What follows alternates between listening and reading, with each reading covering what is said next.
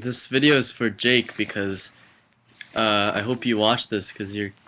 I know that you are going to say something, but uh, I just discovered you could upload directly from the webcam of my laptop, my laptop, and uh, yeah, uh, this one is for Jake just because I can, and because uh you said you always wanted to make a video about talking about shit, but looks like I can, and I'm not gonna say anything about it. Look, I got a little like bindi right there, pimple.